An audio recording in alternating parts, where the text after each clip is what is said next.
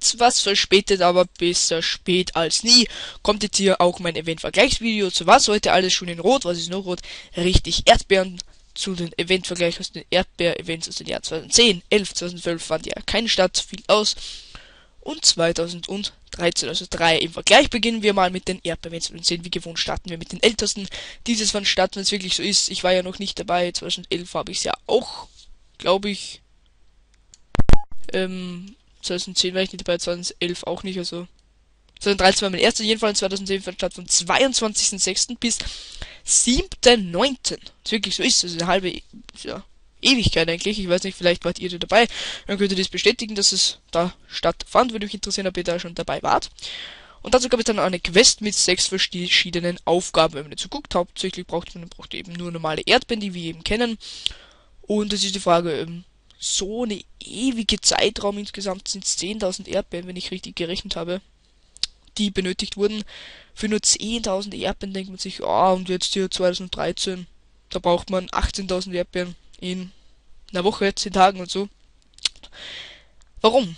Warum ist leicht erklärt, 2010 gab es noch kein Anpflanzen, da gab es war man noch weit entfernt von einer Waldlichtung. Ich weiß nicht, ob es zu der Zeit, wie es Erdbeer-Event war, überhaupt auch schon eine wilde Wiese gegeben hat. Sagen wir mal, es gab eben nur den Hauptakk und das für 10.000 Erdbeeren. KC, Kürbismarmelade, das gab sowieso nicht in Handwerk, war dann überhaupt kein Thema. Also das war schon eine richtige Herausforderung.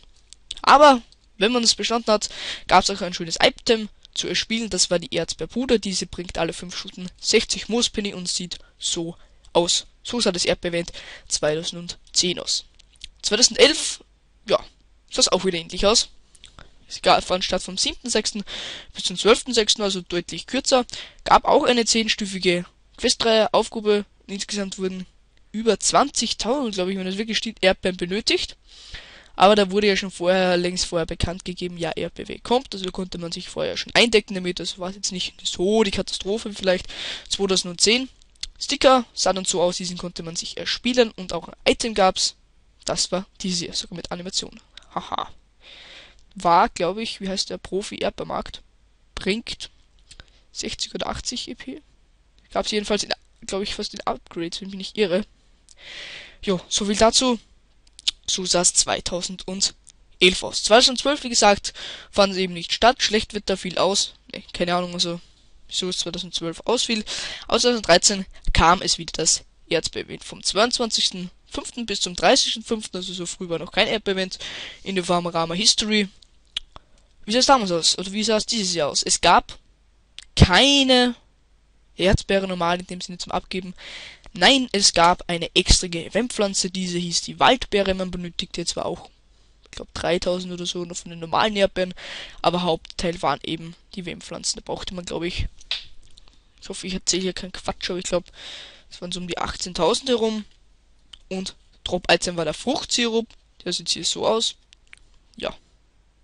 Davon hat man, glaube ich, knapp 800 oder 900 benötigt, aber bei mir zumindest war es ja so, Event im Check-Video zum Erdbeeren 2013 findet auch wieder wie die Beschreibung verlinkt, wie gleich wie das Erklärvideo.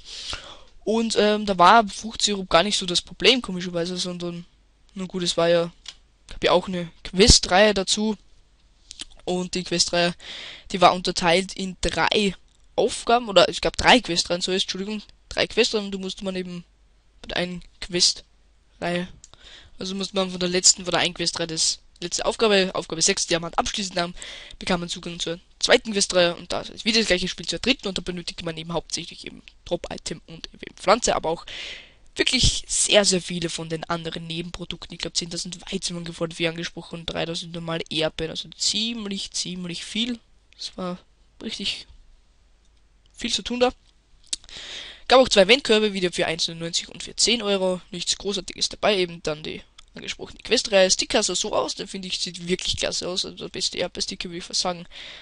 Bis dato. Und es gab auch ein Item zu spielen, das war der Erdbeerdieb, den da gab es ebenfalls in Upgrades. Ich glaube jetzt hier der höchste Upgrade bringt 525 kann das sein, oder über 500 jedenfalls. So sah das jedenfalls aus. Nun gut, das sind ganz kurz zusammengefasst eben Erdbeeren 210, 211, 213 in kurz Zusammenfassung, Durchlauf, wie auch immer. Was kann ich aus Resümee ziehen? Also 2013 finde ich eigentlich nicht gut. Muss ich ehrlich sagen, weil wenigstens, wenn schon Erdbeerwind ist, kann man wenigstens bei 2013 wie gewohnt, es gibt Eventpflanze hier, Eventpflanze da und da und da und da. Wenigstens beim Erdbeerwind hätte mal die normalen Erdbeeren benötigen können oder eben machen können, das jetzt Deutsch ist. Ähm, aber nein, man musste dafür selbst wieder eine eigene Eventpflanze und das finde ich wirklich schlecht, bin ziemlich enttäuscht davor. Aber von den Gewinnen jetzt hier, die was es dann eben gab, finde ich 2013 war am besten. Da gab ja nicht nur das Item jetzt hier und Sticker, sondern gab auch wirklich viele alle Sachen wie Superfutter und TG gibt es auch ein paar. Also das von den Gewinnen her war 2013 wieder das Beste. Obwohl man 2013 wohl auch wieder am meisten Anspruch dabei war. Sonst am leichtesten würde ich fast sagen, es 2010, weil da hatte man wirklich viel Zeit dafür.